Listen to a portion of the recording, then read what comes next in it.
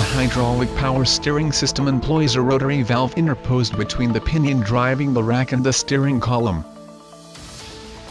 The rotary valve regulates the pressure distribution between the left and right halves of the hydraulic cylinder in which we've turned the steering rack.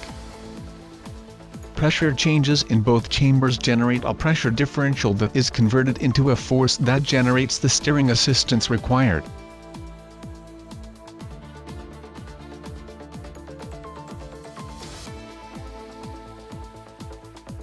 The electric power steering employs an electric motor, generally mounted on a steering column, on the pinion driving the rack or, as in this case, on the rack itself. There is a torque sensor that is located immediately over the pinion. Its job is measuring the torque being exerted on the steering wheel by the driver. This torque is sent to the electronics of the power steering that are integrated within the electric engine that operates the steering. These circuits are embedded in a resin ceramic species protects from moisture and vibration. The torque values, as well the speed and info from the electronic stability program, are used to calculate the amount of assistance required. Motion is transmitted through a belt to a recirculating ball gear.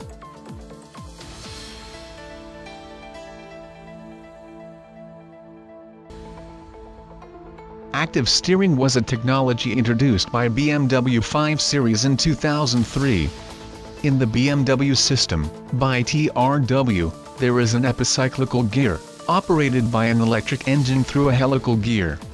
This electric motor allows adding or subtracting angles to the direction of rotation.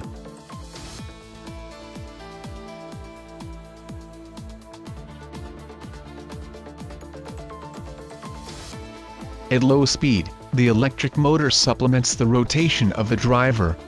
In this mode, it behaves as a conventional steering response with only two turns lock to lock.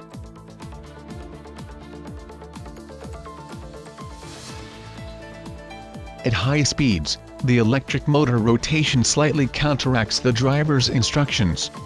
In this situation, the steering behaves as if almost six turns lock to lock, and the driver has a feeling of precision and stability.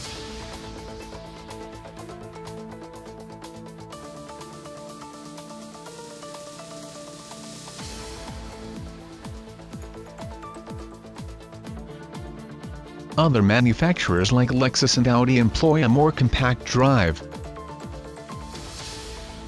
Based on an engine of trains of elliptical waves. Despite its complex name, the operating principle is very simple.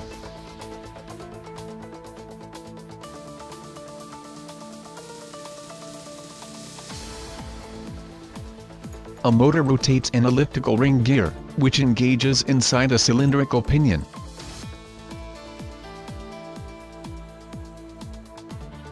The difference between the length of the perimeter of the ellipse and the circle makes for every full rotation of outer ellipse, add or remove a little twist to the inner cylinder.